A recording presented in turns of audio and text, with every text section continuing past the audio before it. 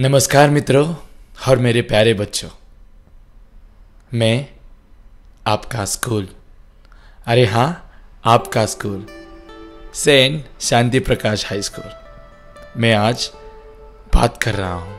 इतने सालों से आपने बस मुझे निहारा है। आज मैं आपको सुनाऊँगा मेरी आप बीती। आज तहे दिल से आपका शुक्रगुजार करना चाहता हूँ। इतने साल बाद मुझे आपने याद किया अपने कदम वापस अपने स्कूल में लेके आए। आज मैं बहुत ही ज़्यादा आनंदित हूँ। आप जानते हो मेरी शुरुआत कैसे हुई? मैं किसके विचारों से निकला हूँ? मैं किसके आशीर्वाद से चल पड़ा हूँ? नहीं ना। तो मैं सुनाऊँगा मेरी कहानी, मेरी जुबानी। सन 1979 उस साल। उस वक्त तक हमारे यहाँ पे कोई अंग्रेज़ी मीडियम स्कूल नहीं था।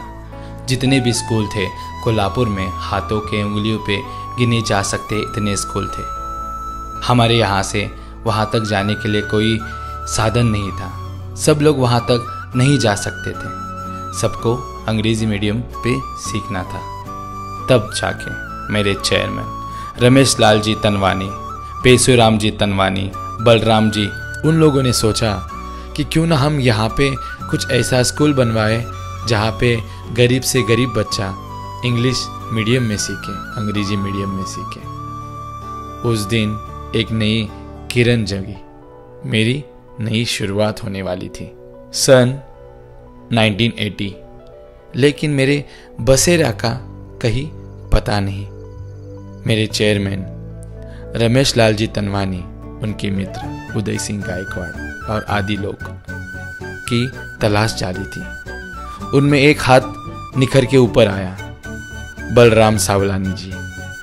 स्वामी शांति प्रकाश मंदिर में मेरी स्थापना करी गई। उस दिन भारत की पहली महिला कलेक्टर शर्वरी गोखले, खासदार उदय सिंह गायकवाड़ और आदि लोग उपस्थित थे। 1981 के बाद मेरा प्रसार बढ़ रहा था। मुझे लोग चाहने लगे थे। तो मुझे कहीं और शिफ्ट किया गया। 15 मार्च 1984 में मेरे लिए नई जगह देखी गई। 15 मार्च 1985 मेरा नई सी शुरुआत हो गई। मैं बढ़ रहा था। मेरे गुरुवर्य शांति प्रकाश महाराज जी ने उस दिन कहा था, मेरे पास आने वाले बच्चे, पढ़ने वाले बच्चे ज़िंदगी में बहुत ज़्यादा तरक्की करेंगे। हर चीज़ में कामयाब बनेंगे। उनके आशीर्वाद से। मुझे चलाने वाले पूरे शिक्षक, मेरे प्यारे मित्रों की वजह से आज मैं शान से खड़ा हूँ। पता है बच्चों, आपका वो स्कूल का पहला दिन। छोटे छोटे कदमों के साथ, रोते बिलकते आँखों के साथ मेरे पास आते हो। रोते आप हो, लेकिन मैं मन ही मन में बहुत खुश होता हूँ। जैसे ही बड़े होते हो, स्कूल से चले जाते हो, मेरे यादों को सिंजोड़ कर अपने साथ लेकर। तब मैं भी रोता हूँ।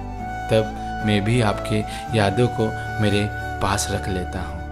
उन्हीं यादों को आपने उजागर किया है और अपने स्कूल को अपने आप से मिलवाया है। मैं यहाँ जीवन भर रहूँगा। अनेक बच्चों को बढ़ता देखूँगा और खुशहाली से रहूँगा। आप भी ऐसे ही रहो, मुझे याद करते रहो। चलो, मैं चलता हूँ। छुट्टियों में आराम भी तो करना है। नए साल में वापस शान से खड़ा होके नए बच्चों के स्वागत में जुड़ जाना है।